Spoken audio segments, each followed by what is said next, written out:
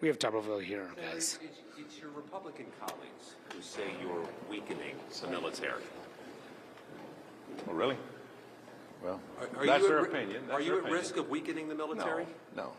As I've told y'all all along, if I thought there was any problem with readiness, we wouldn't be doing this. Uh, all jobs are filled. People are doing their jobs. This will be over one day. I don't know when. Uh, that was that was kind of interesting for me last night. But Those are some biting criticisms you got last night. yeah, yeah, it was it was a little character assassination at times, but uh, you know, you got to remember what I did for a living for a long time, so I'm used to that. But we got to get all on the same page on this, uh, I, and I think we will. It's just uh, we went through something last night that uh, uh, what that's 17th time. 16 of them were Democrats, and now one Republican. Uh, but we'll work through it. So, so has any of this caused you to change No. your approach? No. So you're not going to drop your holds no matter what? No, no. I mean, So, well, did- not, not no matter what. And, you know, we get some res- resolution from the SecDef and the president. First of all, we don't even know what, what the policy is. They won't give it to us. We went through a briefing, and we got no definition of really what they changed it to. So they're kind of shooting from the hip.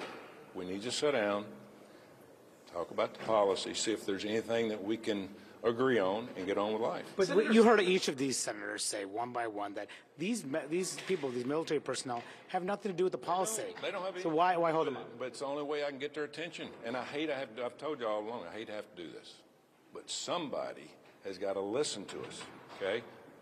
I work for the people of this country, okay? I don't work for another senator or president. I work for the taxpayers of this country.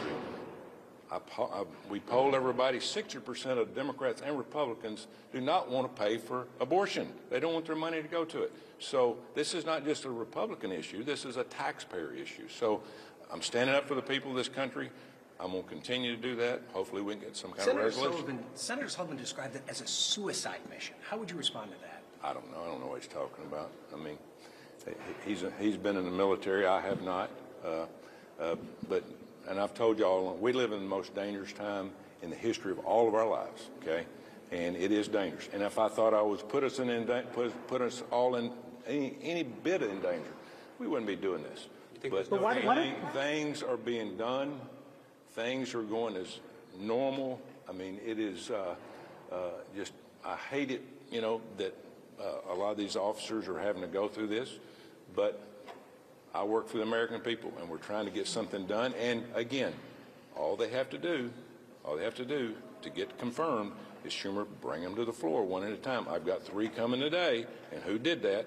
You're looking at him. It wasn't Chuck Schumer. He's taking credit for it. I forced him to do it. I'm going to force him to do more next week.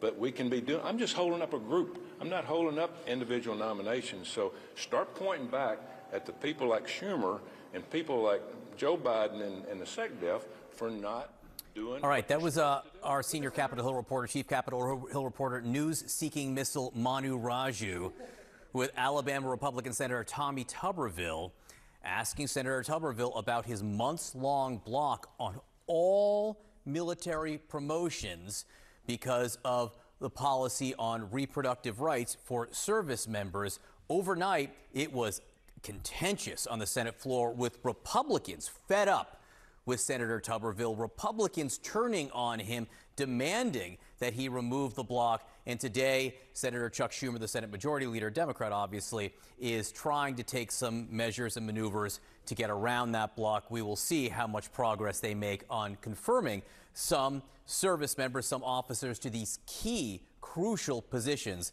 in this dangerous time.